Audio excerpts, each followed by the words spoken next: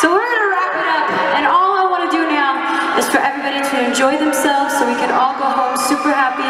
I'm very grateful, and this next song, this next song means the most to me. This has been my way of life, and I always feel like the world can use a little bit more kindness.